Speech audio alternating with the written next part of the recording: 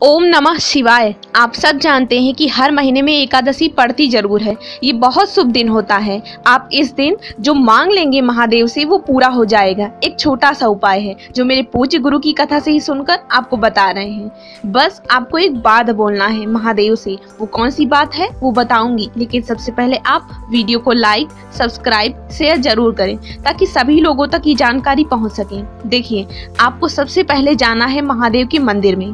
एकादशी के दिन। दोस्तों, पूरे दिन एकादशी रहती है। आप पूरे दिन इस उपाय को कभी भी कर सकते हैं। एकादशी के दिन शिव मंदिर जाइएगा और उसके बाद शिवलिंग पर आपको जो भी चढ़ाना होगा, दूध, दही, घी, जैसे भी आज तक आप महादेव की पूजा करते आए हैं, वैसे ही सबसे पहले महादेव की पूजा करना। लेकिन जब आप महादेव की शिवलिंग पर जल चढ़ाएँ तो आपको वहीं पर खड़े होकर एक शब्द बोलना है। पूरी श्रद्धा, विश्वास के साथ आँखें बंद करके महादेव का ध्यान करके। वो शब्द क्या है? जान लेते हैं। ये शब्द तीन बार बोलना है आपको। शब्द है स्वधा। क्या बोलना है तीन बार आपको? स्वधा स्वधा स्वधा।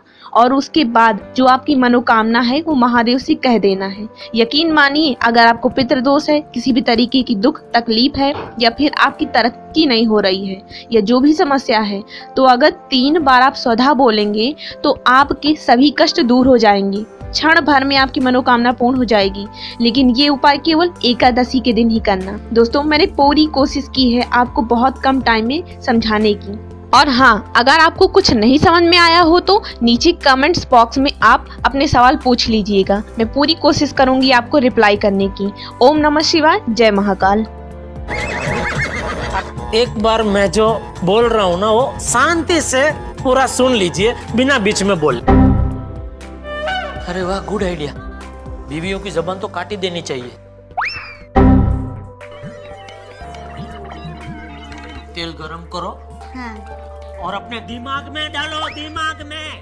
जोंग लग गया तुम्हारे दिमाग को जोंग। बोलिए। चुप! चुप हो जा सातवीं फेल चुप हो जा। Was caught in the crossfire.